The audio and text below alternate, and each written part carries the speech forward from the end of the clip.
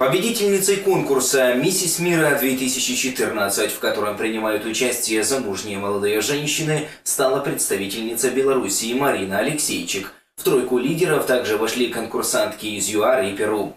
Севастопольская красавица и актриса Наталья Николаева заняла в финале четвертое место.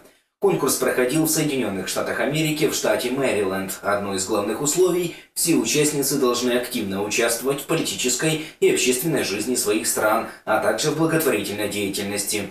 Победительница конкурса Марина Алексейчик стала успешной бизнес-леди. Она открыла собственное агентство по организации мероприятий, в числе ее клиентов частные лица и известные компании, для которых она организует мероприятия от свадеб до крупных деловых встреч в других городах и странах.